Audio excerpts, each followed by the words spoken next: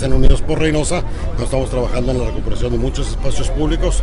Hoy tuve la oportunidad de ir a recorrer eh, las jarachinas, eh, lampacitos, en donde estamos rehabilitando también muchas calles que, si bien es cierto, no son arterias principales, pero sí, son, sí es una movilidad urbana que tiene el sector.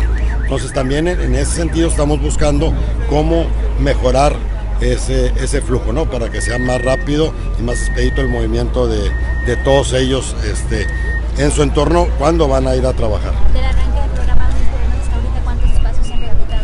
Ahorita hemos reclutado, hoy me pasaron el, el, el, dato, tenemos 18 plazas ya intervenidas que ya de alguna manera ya, ya estuvimos trabajando en ellas, estamos pintando los jueguitos, haciendo reforestación, estamos limpiando los parques, pintando los, este, los alrededores.